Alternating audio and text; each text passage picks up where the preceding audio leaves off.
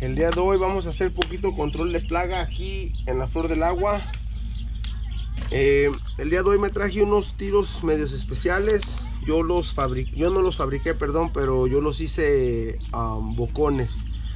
Traigo 5 del Super Extra, 40 granos 2 del Interceptor, 40 granos y 4 del Super Maximum 30 granos. Eh, vamos a ver a ver qué daño les hace a, la, a las ardillas. Eh, únanse no se les olvide ese su, um, subscribe porque aquí voy a hacer el primer set.